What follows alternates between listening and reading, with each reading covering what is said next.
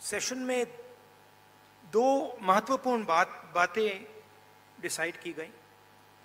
पहले के एक कोऑर्डिनेशन कमेटी होगी और दूसरी कि जल्दी से जल्दी जो सीट शेयरिंग का मामला है, उसको हम डिस्कस करके उसमें हम रेजोल्यूशन निकाल देंगे।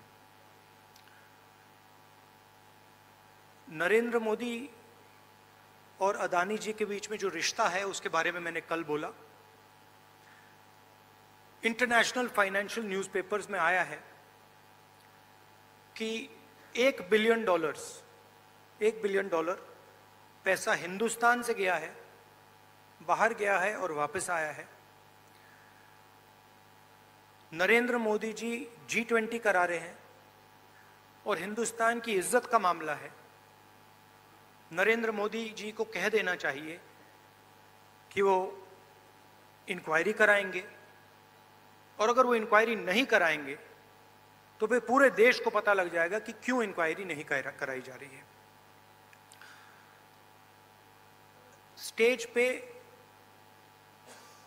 जो नेता हैं, जो पार्टीज़ हैं, वो हिंदुस्तान के 60 परसेंट लोगों को रिप्रेजेंट करती हैं। और अगर हम एक साथ मिलके चुनाव लड़ेंगे तो बीजेपी चुनाव जीत ही नहीं सकती है। और मुझे बहुत खुशी हो रही है कि जो हमारी पार्टीज़ हैं, जो हमारे नेता हैं, उनके बीच में जो रैपोर है, जो फ्लेक्सिबिलिटी है, वो गहरी, गहरा हो, गहरी होती जा रही है। और मुझे लगता है कि इंडिया अलायंस बीजेपी को चुनाव में आसानी से हरा देगा।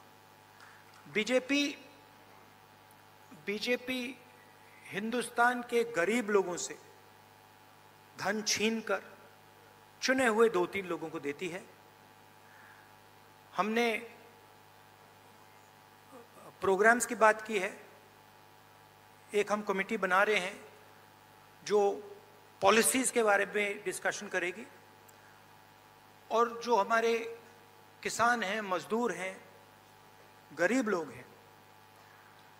उनके लिए जो हमारा विजन है, वो हम थोड़ी ही देर में हिंदुस्तान को आप सबको दिखाएँगे।